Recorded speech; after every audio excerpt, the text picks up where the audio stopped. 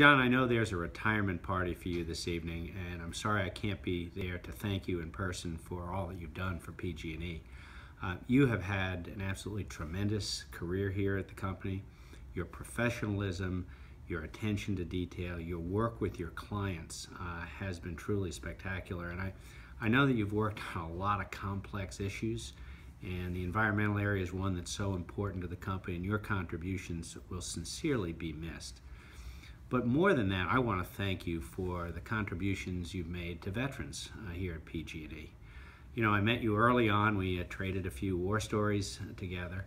Uh, but then you led by example uh, when you came and told me that you were going off on yet another deployment. My first reaction was, boy, at this stage of uh, your career, that really took a lot uh, to, to do that.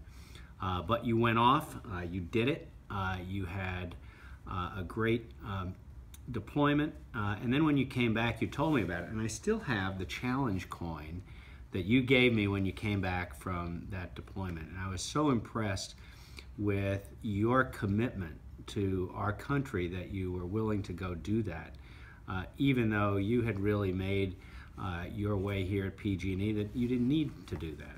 And then you went further in the leadership role you played in getting the veterans ERG up and running and now to be one of our most successful ERGs uh, has just been uh, a incredible experience to watch. And I, as a veteran myself, I appreciate uh, what you've done.